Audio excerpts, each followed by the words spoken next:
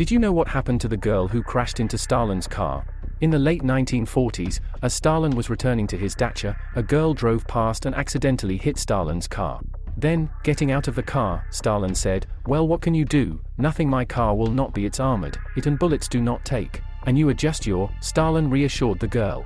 The police immediately arrived, Stalin immediately interceded for the girl and ordered her to leave her alone and let her go.